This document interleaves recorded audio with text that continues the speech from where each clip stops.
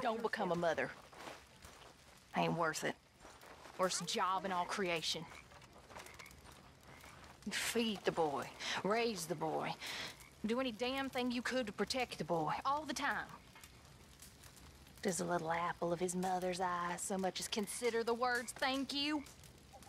Or express anything other than utter whore at her who birthed him? Rudeness I think I could take.